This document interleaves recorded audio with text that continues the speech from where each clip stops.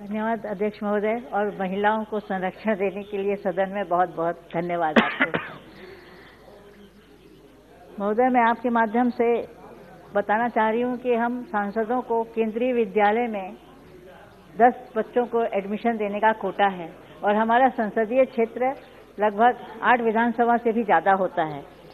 तो और अभी इस वक्त केंद्रीय मंत्री के माध्यम से भी हम लोग कई बच्चों का एडमिशन करा देते थे, जो इस वर्ष नहीं हुआ है। इस विषय में मैंने आदरणीय प्रधानमंत्री जी से भी एक पत्र दिया था, जिसका जवाब उन्होंने दिया है। तो मैं आपके माध्यम से सरकार को ये कहना चाहती हूँ कि या तो मंत्री जी का कोटा पूर्वतः ही किया जाए, या हम सांसदों का कोटा 10 से बढ़ाकर 50 किया जाए। इससे सारे सांसद सहमत होंगे। मेरे इस निवेदन से सुश्री तो बढ़ाया जाए ताकि हम लोगों को बच्चों को सुरक्षित कर, कर सके उनका भविष्य पढ़ाई के लिए। धन्यवाद। सुश्री